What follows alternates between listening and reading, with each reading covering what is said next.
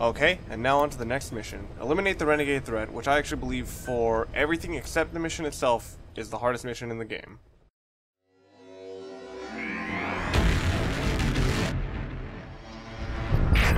Boss, the mission objective is to eliminate two U.S. Marines officials.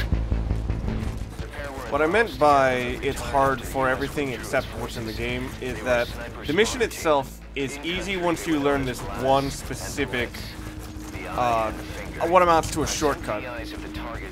Also, right here, I am deliberately sprinting to catch the attention of the guard that's down there. This means that they won't run up the hill and, like, get out of the way super fast. I was not actually attempting to fire. All I was doing there was just trying to mark them. Now here, they'll be closer and walking slower so you can get an easier headshot. Which is, of course, the difficulty with me. And another, right here is another difficult headshot. But it's first followed by something where it's like, okay, you don't need a headshot, all you need is to be able to knock this guy out eventually. So yes, right here is about a couple of misses. But the difficult thing about the non-main mission stuff with this mission is that it asks so much of you. Um, notably is that it asks you to complete the mission with no weapons, without getting caught by anyone, without killing anyone, and by extracting the, the targets. That is a tall order. I actually have done it once. My time my time that's recorded is 1 hour and 20 minutes.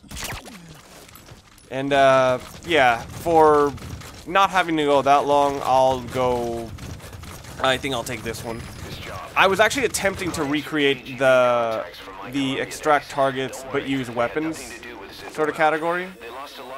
But it was it's so annoying to, to pull out, so I decided to instead just do the shortcut method. To the east, the two were a reason to be afraid of the dark. The extradition to face trial is even on the table in the peace talks. Now that they're out of Laos, the two are enjoying a relaxing So yeah, the I'm having a bit of difficulty here actually spotting my next target. You can spot them relatively early if you catch the if you like first portion of the style or first portion of the cycle is completed in time. But unfortunately, it's a bit of hard timing. So yeah, just keep looking around for a bald man. That's really the only way to distinguish between the two. A bald guy and a black guy wearing sunglasses. So yes, I think I actually missed him right there. Like right there would be where he's first visible over the fence. Rip. So yes, the uh, objective was to eliminate them. So here we go. First one. One target down, one to go. His buddy's on his way to hell. That's a shot that is very easy to accidentally mess up. So yeah, and just getting out of dodge. Not choosing to tranquilize a guard relatively early on let me like tranquilize the other guard easier, but means I gotta tranquilize him on the way back. Uh, while we're waiting for the helicopter, I'm actually going to show you the um, ID stuff that Miller was talking about.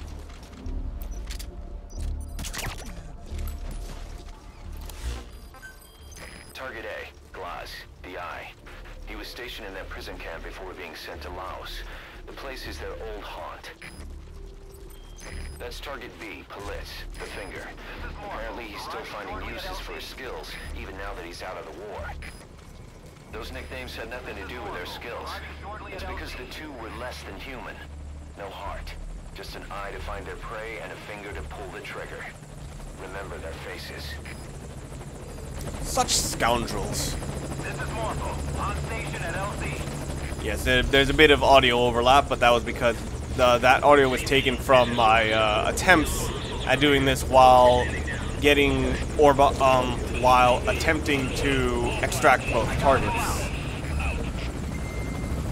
Don't worry, I will show the ending audio to if you do that, but I'm not going to make it a, a big mission or anything because it is too elaborate. I can get as far as getting one of the guys out and also getting two of the POWs from that camp down there.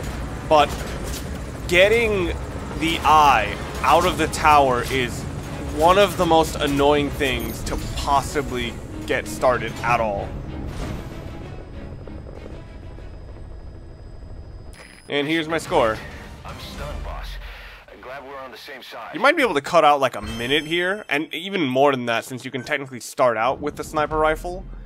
But, yeah, that's pretty good for like not going for either one of those. Or sorry, for for not having great aim and for not having practiced a lot of this in a while. Like I think that was take 3 that I got this on. With those two targets out of the way, we might just see an early end to the war. But did you notice, boss? They seem to be afraid of something. Feared it more than death itself. Just what the hell is going on in that place? Now here's the double extraction audio. We searched the two targets you recovered. One of them had a glass eye, the other a prosthetic index finger. Looks like all the therapy and drugs couldn't help them forget the war. They resorted to self-mutilation. But you can't cut off your name. Just like us. They were human. See you guys next time.